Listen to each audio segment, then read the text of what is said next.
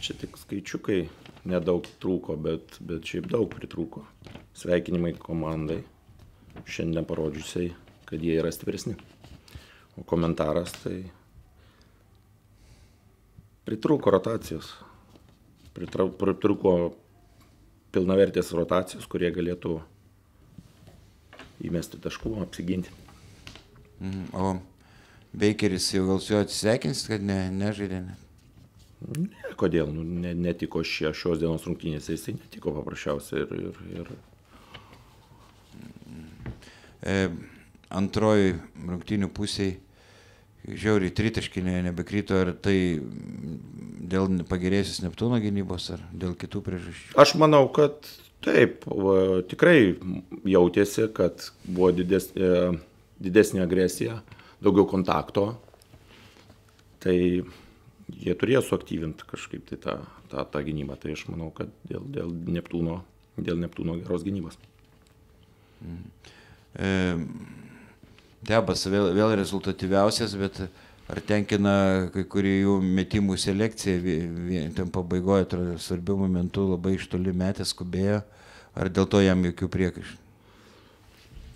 Mes kalbamės, čia yra tarp mūsų, čia vidaus yra reikalas, ar ma- mane tenkina ar netenkina, jis yra gudrų žaidėjas ir, ir, ir, ir mes su juo išsiaiškinsim jau, kurie metimai mane tenkina, kurie ne, netenkina, bet šiaip, nu, nelabai iš ko turim rinktis. Nu, bet e, patenkintas vyrų kovingumu bent jau.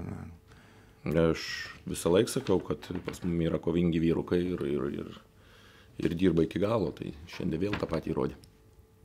Bet tą patį galim pasakyti ir apie Jordaną Watsono gynybą. Ar... E, matot, kai jie žaidžia tiek laiko, tai nori, nenori kažkur tai pavargsta, o pakeitimo, kai neturim, tai jie, jiegi ne robotai. Tai.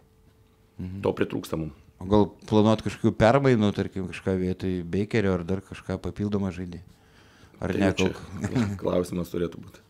Uh, šiaip tai pradedant nuo to, aš visą laiką bijojau, tai, ne, ne tai, kad bijojau, ta prasme visą laiką yra tas momentas, kai tu laimi prieš, prieš žalgerį ir po to sekančios rungtynės atrodo, visi atvažiuoja tokie, kad pusė, pusė, pusė jėgos aploš atrodo.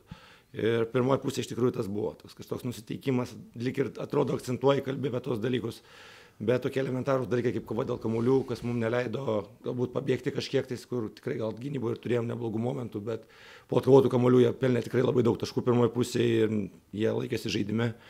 O antroji pusė, kas padėjo, tai manau, kad gynyba. Gynyba kažkiek galbūt tas, netgi sakyčiau, gynyba aukštų penketų, kur pradėjom keistis. Mes tą dalyką jau truputėlį kažkiek treniruojamės, dabar atsiradus ažalui, mes truputėlį kitokią komandą ir, ir šitoje vietoje galima žaisti. Zypas mums iš tikrųjų žaidėjas, kuris, aš taip manau, ateityje tikrai galėtų ir antroji pozicijoje kažkiek tai žaisti. Kas toks? Zyma Ronka. Mm, Mm, tai, Mar- nu, aha. atsiprašau, ne, ne, ne, ne, mes jau turim savo tas pravardės. tai, tai sakyčiau, tas momentas va, iš gynybos pusės mums, mum, mum, atrodo, sustabdė pasvalį, susi- susitvarkėm su kamuoliais ir, ir šiek nuėjome į priekį, aišku, galas truputėlį nervuotas buvo, galima, gal reikėjo su, solidžiau norėtųsi, kad sužaistų kai kuriais momentais, bet pergalė yra pergalė svarbu ir kas svarbu lentelė, kad mes tai dvigubas taškas, truputėlį pabėgom nuo, nuo, nuo aštuntos vietos ir priartėjom prie šeštos. Ir šiandien e, Tubelis žaidė mažiau nei įprasta, nebuvo toks rezultatyvus ir gynyboje su Jarbausku sunkiai sekės tvarkytis. Kodėl jis čia nu, mažiau žaidė? Mm. Aš jeigu atvarai minučių aš nelabai žiūrėjau, bet jis, manau, svarbiausias minutės žaidė. Ir, ir taip, pirmoji pusė galbūt turėjau priekaištų dėl gynybos kailiais momentais, mhm. nes vis dėlto jie Rumbauskai jisai puikiai pažįsta ir žino stipresias pusės ir jie su juom leido žaisti. Bet antroji pusė, man tikrai, kas liečia gynybą, tai su juo buvo žymiai geriau. Tai didelių priekaištų neturiu, lenta kažkiek pradėjo tvarkytis. Tai... Nu, bet dabar supraskite, jau, jau Ažalo dabar visi akcentuoja. Jau jisai mm. vienas iš tų žaidėjų, mm. kurį, kurį, kurį akcentuoja ir jam dabar kuo toliau, toliau tuo sunkiau bus žaisti. Mm, Sargiūnas vėl sužaidė puikiai, gal jam pasitikėjimo dar daugiau pridėjo tas geras rungtynės su, su Žalgiriu?